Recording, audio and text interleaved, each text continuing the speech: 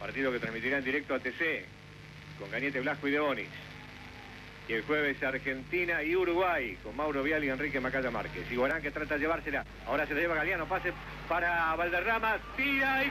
Palacio que rechaza. Va a buscar Cañete. También Herrera. Despejó cabezazo de Galeano. Entra Iguarán. Está habilitado. Atención. Puede venir el segundo. Sigue aquí Iguarán. Tira. Y hace el tiro libre.